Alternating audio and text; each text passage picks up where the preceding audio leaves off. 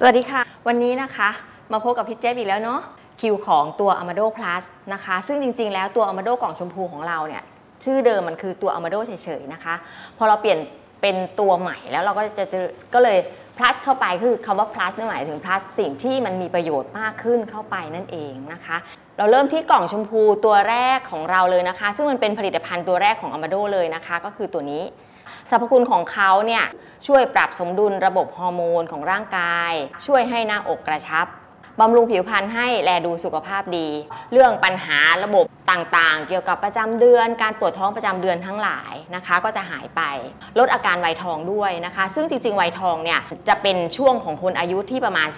45-50 ปี ที่มีอาการไวยทองเนี่ยก็จะมีอาการร้อนวูบวาบ เนาะบางทีก็ประจำเดือนอาจจะมากะปริดกะปรอยบ้าง แล้วก็บางทีก็อาจจะนอนไม่หลับมือชาเท้าชาอะไรประมาณนี้ ปัญหาต่างๆ พวกนี้ก็จะหมดไป ช่วยฟื้นฟูระบบภายในร่างกายของผู้หญิงด้วยลดการเกิดสิวที่เกิดจากฮอร์โมนด้วยนะคะเพราะว่าฮอร์โมนของเราเนี่ยมันดีขึ้นมัน balance ขึ้น มันก็ลดการเกิดสิว แล้วก็ลดการตกขาวแล้วก็ลดกลิ่นอันไม่พึงประสงค์ด้วย นี่คือสรรพคุณของตัว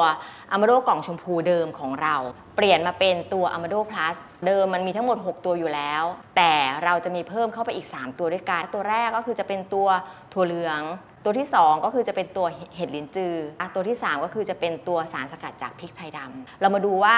ทั้งหมดจาก6บวก3เป็น 9 ตัวเนี่ยมันช่วยอะไรได้บ้างนะคะ แล้วก็มันพลัสอย่างไรนะคะ